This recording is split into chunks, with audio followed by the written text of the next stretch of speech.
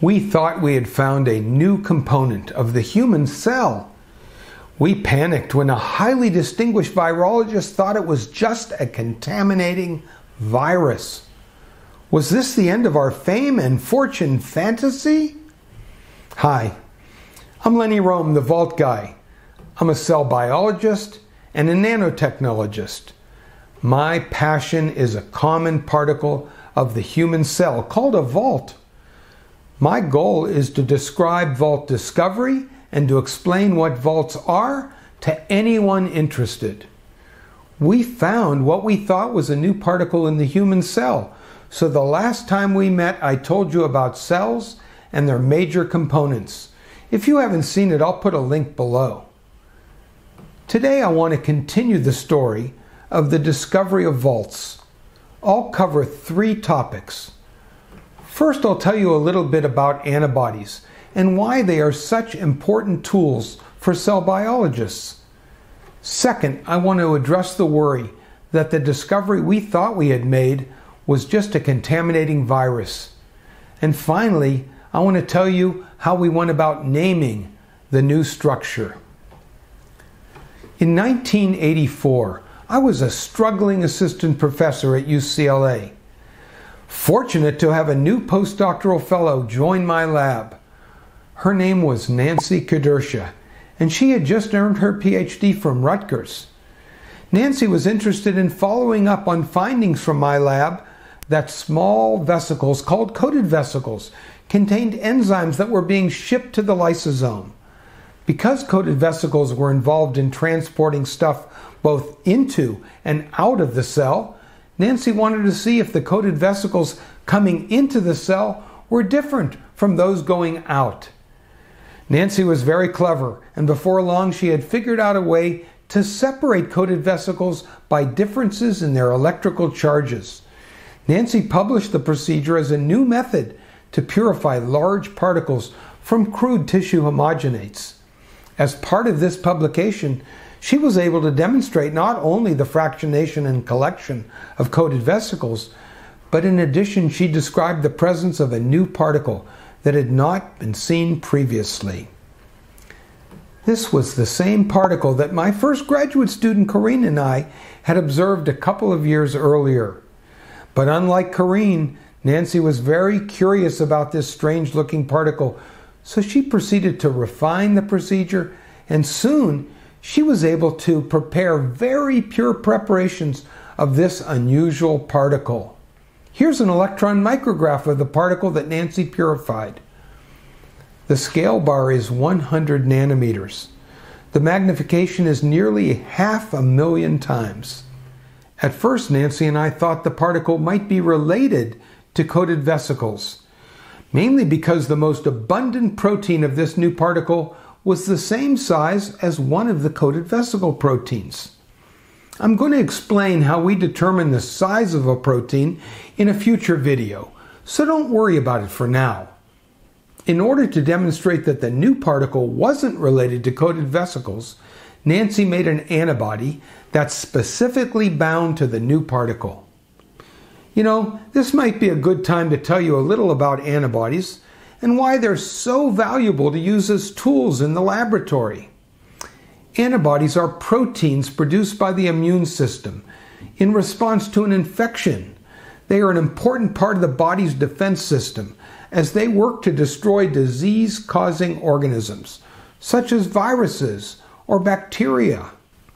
Here's what a common circulating antibody, called an IgG for immunoglobulin type G, looks like. Each IgG is produced to attack a specific invading pathogen.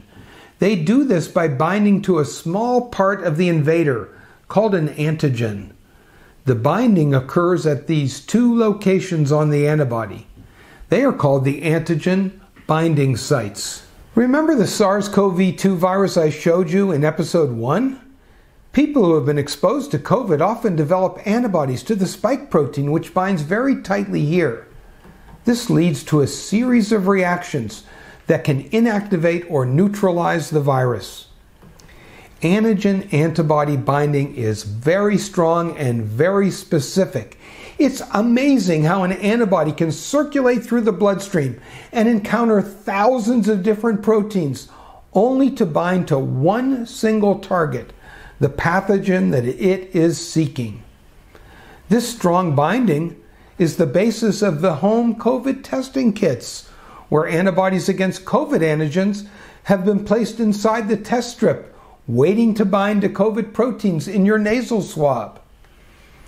I haven't been able to find any good explanations online of how the test kit works, so I'll give it a shot.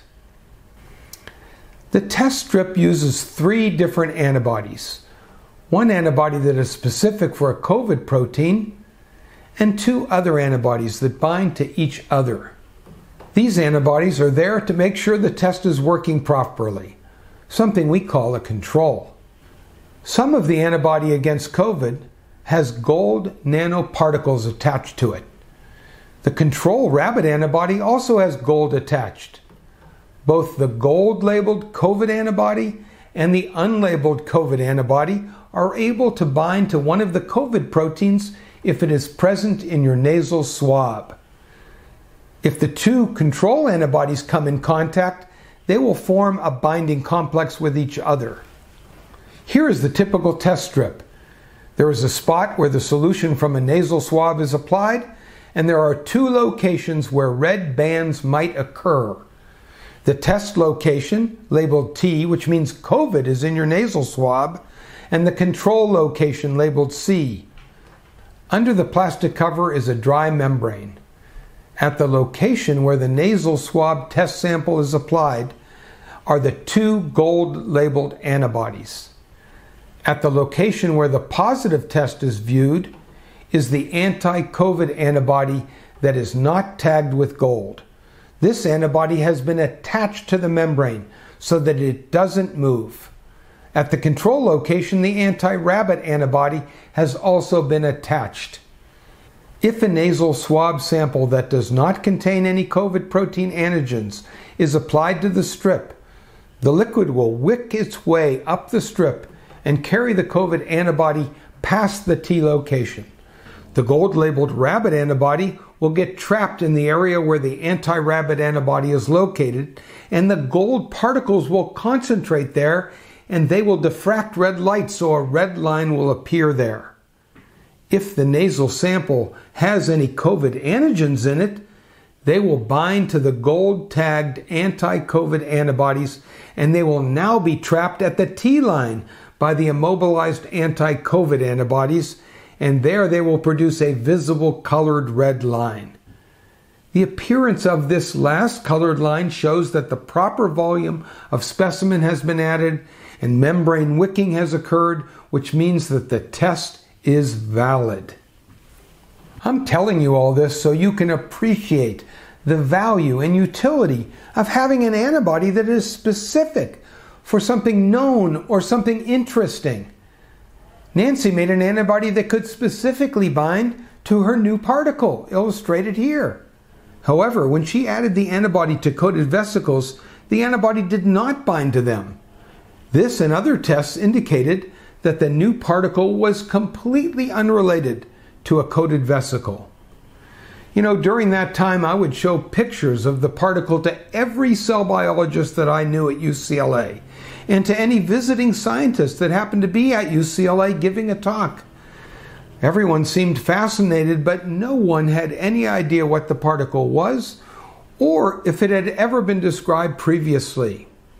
However, one visiting scientist, a superb virologist named Ari Helenius, gave Nancy and I quite a scare.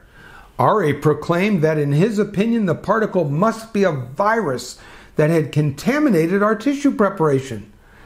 Boy, by that time, Nancy and I were completing the writing of a manuscript to describe the new particle. So, in a panic, back to the lab we went to see if we could confirm or invalidate Ari's idea that the particle was a contaminating virus. So, just what is a virus? A virus is an infectious microbe consisting of a segment of nucleic acid, either DNA or RNA, surrounded by a protein coat. A virus cannot replicate alone. Instead, it must infect cells and use components of the host cell to make copies of itself. There have been a lot of discussions about whether viruses are living things. And although viruses do have some of the properties of living cells, they can't maintain themselves in a stable state, they don't make their own energy, and they don't grow. I agree with the suggestion that viruses are a lot more like aliens than any real living organism. The first thing we did to investigate whether the new particle that we had isolated might be a virus was to look for the presence of DNA or RNA. We were analyzing the components of the new particle using a technique that I'll explain in a later video. For this discussion, I'll just say that we could take the particle apart with a strong detergent and look at the sizes of the various components that were present using a stain that reacted with proteins.